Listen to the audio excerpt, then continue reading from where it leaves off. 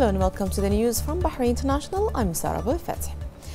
His Royal Highness of Crown Prince Deputy Supreme Commander and First Deputy Premier Prince Salman bin Hamad Al Khalifa chaired a meeting of the government's executive committee held remotely. He highlighted that ongoing compliance with health regulations during the holy month of Ramadan demonstrates the strong sense of solidarity and collective COVID-19 awareness among the kingdom's citizens and residents, adding that both concepts underpin the success of all virus mitigation efforts and must continue in order to safeguard the health of all. His Royal Highness went on to note that the Holy Month provides an opportunity to reflect on shared values that strengthen social cohesion and create a common purpose against COVID-19. Following consideration of a report submitted by the National Medical Task Force to combat the coronavirus headed by the Chairman of the Supreme Council of Health, Lieutenant General Dr. Sheikh Mohammed bin Abdullah Al Khalifa, the following decisions were taken. Effective from 7th of May 2020, commercial and industrial businesses providing goods or services directly to customers can resume usual operations provided that the following conditions are met. All employees and customers are required to wear face masks inside the premises to reduce the number of individuals across the facilities at any one time, limiting overcrowding and ensuring social distancing guidelines are followed. Stores and facilities are to be regularly and thoroughly disinfected in accordance with the Ministry's health guidelines.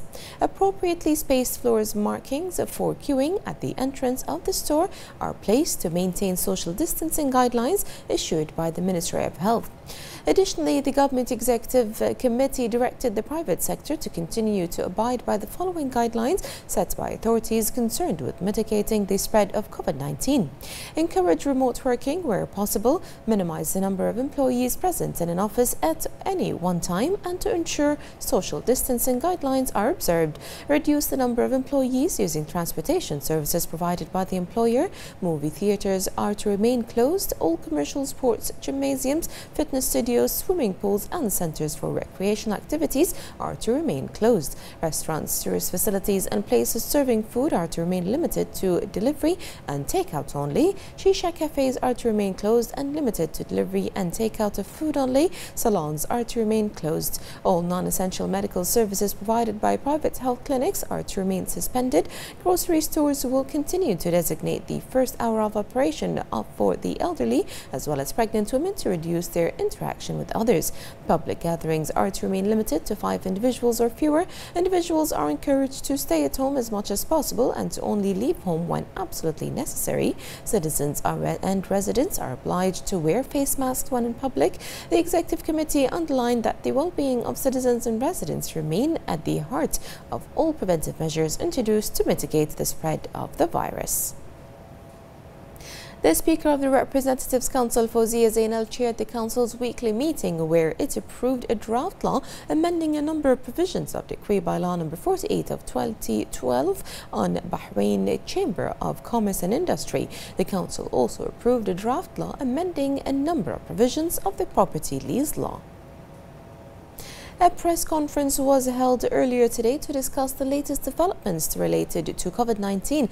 The Undersecretary at the Ministry of Health, Walid Al-Mana, emphasized that the Ministry of Health and the authorities concerned are continuing their efforts to combat COVID-19 in order to safeguard the kingdom. He hailed the awareness of the Bahraini community, which is mitigating the spread of the virus. Al-Mana added that the Ministry of Health will launch a new service in cooperation with Facebook and WhatsApp to increase awareness in the kingdom in both English and Arabic. The service will comprise of an active channel where individuals can ask questions about the virus and they receive automated answers based on an extensive database collected by the Ministry of Health. It will also include the latest updates in the kingdom related to the virus. Al-Mana highlighted that all commercial and industrial premises will be open tomorrow and that they are instructed to disinfect all areas and to implement queuing instructions. He underscored the importance of adhering to the regulations set, including social distancing, wearing face masks, and implementing all precautionary measures.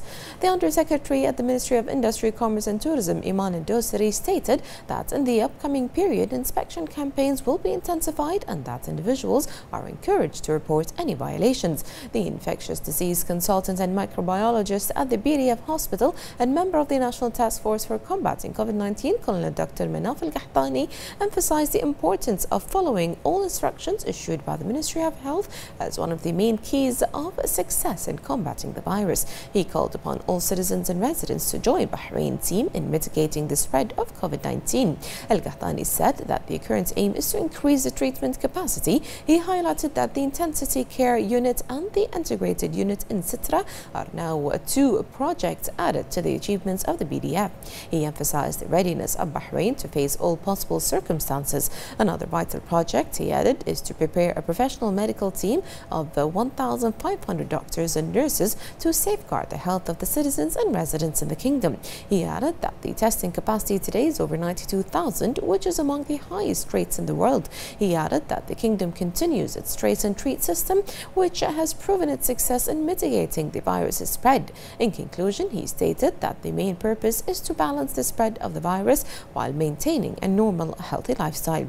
The consultant of the infectious and internal diseases at Medical Complex, Dr. Jamila Salman, emphasized that all efforts and precautionary steps are going to continue and that all public and private institutions will continue to follow them to prevent the further spread of the virus. She added that the high number of active causes is, of active cases is a natural result of the high number of tests conducted. She added that the treatment protocols and the follow-up teams are providing the highest quality services and treatments. As Salman praised the commitment of the people to implementing social distancing and lowering the number of family gatherings. She concluded by emphasizing that the collaboration of the whole society is the key step to overcoming this pandemic. The Secretary General of the Supreme Council for Youth and Sports, Sheikh Salman bin Ibrahim Al Khalifa, visited the filming site of the Heritage Competitions program El Saria.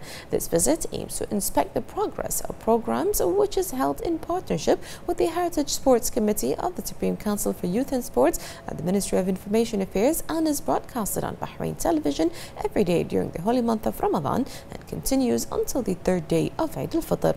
He praised the steps taken by His Highness Sheikh Nasser bin Hamad Al Khalifa in order to revive Bahraini heritage and preserve the authentic national identity, praising the efforts made by the Sports Heritage Committee to develop these sports. He also praised the efforts of the Minister of Information Affairs, Ali bin Mohammed Romaihi, and the program's crew. Sheikh Salman honored the chairman of Batelco, Sheikh Abdullah bin Khalifa Al Khalifa, and the organizers of the program. The visit was attended by Assistant Secretary General of the Supreme Council for Youth and Sports, Abdurrahman Sadiq Askar, Information Affairs Ministry Assistant Under Secretary for Radio and Television Affairs, Abdullah Khalid Dosari, Vice Chairman of the Heritage Sports Committee, Ali bin Mohammed Al Fadl Al Marri, and General Supervisor of El Saria Program and President of the First Bahrain Channel, Isa Al Mutawa.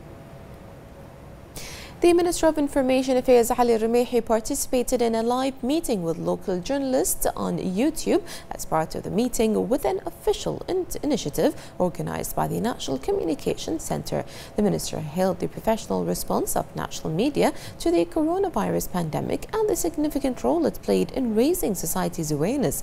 The minister affirmed that Bahrain media is conscious and confident and reflects the nature of the community and its intellect, which qualified it to foil division attempts directed towards the kingdom. He stated that Bahrain began its efforts early before the arrival of the first coronavirus case in the kingdom upon the directives of His Royal Highness the Crown Prince, Deputy Supreme Commander and First Deputy Premier bin Salman bin Hamad Al Khalifa, which reflected positively on various media platforms as minute details were provided transparently to all citizens and residents, which in turn contributed to increasing trust in the official performance to address the pandemic. He highlighted the cooperation of the national team, who was in direct and continuous communication with various media platforms, which is a model to be emulated, whether in exceptional circumstances or any other form of public opinion. The Chief of Public Security, Major General Tariq Al Hassan, took part in the meeting of the chiefs of police services in MENA countries that are members of the International Criminal Police Organization, the Interpol, which was held today morning remotely. The Chief of Public Security delivered a speech during the meeting conveying the greetings of the Minister of the Interior and his wishes for the success of the meeting, which comes under exceptional global circumstances due to the outbreak of the coronavirus. The two main points were discussed during the meeting. The first was the need for law enforcement and Interpol support for member states, and the second was the strategic experiences and efficient practices that are currently in place in response to the coronavirus pandemic. إن مملكة البحرين وبتوجيهات من حضرة صاحب الجلالة الملك حمد بن عيسى آل خليفة تعاملت مع جائحة فيروس كورونا كوفيد 19 قبل أن تستفحل في المملكة استنادا إلى بنية تحتية قوية ومن خلال خطوات استباقية وتدابير وقائية. كان لها الدور الأساس في السيطرة على انتشار الفيروس وتقليل عدد ضحاياه. وبجهود من فريق البحرين المكون من- الجهات ذات العلاقة ويضم كفاءات وطنية مشهودة. بتوجيهات المتابعة من اللجنة الحكومية التنسيقية برئاسة صاحب السمو الملكي الأمير سلمان بن حمد آل خليفة ولي العهد النائب الأول لرئيس مجلس الوزراء. وأجدها مناسبة هنا لأن أوجه لسموه ولفريق البحرين كل التقدير والاعتزاز بهذه الجهود التي كان لها الفضل بتوفيق الله في وضع البحرين في موضع متقدم في مكافحة هذه الجائحة- وأشيد في هذا السياق بالجهود البارزة التي يقدمها الفريق الطبي الوطني والذي هو جزء من فريق البحرين ويضم خبرات متمرسة في شؤون الصحة العامة ومكافحة الأوبئة والفيروسات ويقوم بتعزيز قدرات النظام الصحي وضمان مواصلة الأداء بجودة عالية. الحضور الكريم. لقد اتبعت مملكة البحرين لمواجهة هذه الكارثة سياسة ورؤية واضحة اتسمت بالشفافية وذات أبعاد مجتمعية وإنسانية من منطلق استراتيجيتها القائمة على احترام وتعزيز مبادئ حقوق الإنسان. وتجسيدها على أرض الواقع. واتخذ هذا النهج مظاهر متعددة نذكر منها على سبيل المثال معاملة المواطن والمقيم على حد سواء من حيث كفالة الضمان الصحي والرعاية الطبية المجانية الكاملة. تنفيذ أكثر من 155 ألف عملية فحص طبي لكشف الحالات المصابة وتحديد المخالطين لها من بينها فحوصات استباقية في المواقع التي يشتبه انتشار الفيروس فيها. حيث وصل معدل حالات الفحص إلى 800 882 شخص لكل 10000 من السكان. لم تقم البحرين بإغلاق حدودها الدولية ووضعت ضوابط وتدابير تضمن استمرار حركة النقل وتوفير المواد الغذائية والاحتياجات المعيشية. وكذلك حركة السفر الضرورية مثل الترانزيت وساهمت في إجلاء رعايا العديد من الدول من خلال منافذها وبمساعدة الناقلة الوطنية لديها طيران خليجي اتخذت البحرين أيضا خطوات نوعية تمثلت بإطلاق حزمة مالية واقتصادية شملت دفع رواتب المواطنين في القطاع الخاص لمدة ثلاثة أشهر وتحمل فواتير الكهرباء والماء عن كافة المشتركين بذات المده. إضافة إلى سلسلة من الإعفاءات وإعادة هيكلة القروض بالتعاون مع البنوك والمؤسسات المالية. وضمن هذه الجهود الوطنية في إطار تنفيذها لقرارات اللجنه التنسيقية حرصت وزارة الداخلية على أداء مهامها وواجباتها الوطنية في إطار التكاملي والتنسيقي. ونشير هنا إلى ما يلي: المشاركة في إطلاق حملات توعوية مكثفة بالتنسيق مع وزارة الإعلام، تشكيل فريق أمني مختص يقوم بتقصي الإصابات وتحديد المخالطين لمساعدة الجهات المعنية في اتخاذ الإجراءات الاحترازية المطلوبة وبالسرعة المطلوبة. وهذا كان أثبت حقيقة أهمية جدا في في مكافحة انتشار هذا هذا الفيروس. آه، وضع اللجنة الوطنية لمواجهة الكوارث برئاسة رئيس الأمن العام في حالة انعقاد دائم للعمل على متابعة الإجراءات اللازمة ضمن الخطة الوطنية لمواجهة الكوارث. قيام الدوريات الأمنية بالعمل على تنفيذ قرارات اللجنة التنسيقية ومن بينها الزام ومن بينها التأكد من التزام الجميع بارتداء كمامة الوجه في الأسواق والمواقع المزدحمة وتحقيق التباعد الجسدي بما لا يقل عن متر ونصف بين الأشخاص في الأماكن العامة. المساعدة في تقديم وجبات الطعام للعمال الأجانب الذين فقدوا وظائفهم وتوفير مساكن مؤقتة لهم ضمن جهود تهدف إلى تخفيف كثافة العمالة في المساكن وتوفير رعاية صحية كاملة لهم التواصل مع الجهات المعنية للتأكد من توفر كافة اشتراطات ومعايير السلامة في السكن الجماعي المشترك كما تم تكليف فرع التعامل مع المواد الخطرة بمساندة عمل الدفاع المدني في تنفيذ أعمال التطهير والتعقيم لكافة الشوارع والمرافق الحيوية فضلا عن إعداده آلاف المتطوعين للمشاركة في هذه الأعمال الميدانية. ثم متابعة الأشخاص الخاضعين للحجر المنزلي عبر استخدام تطبيق مجتمع واعي وآلية السوار الإلكتروني.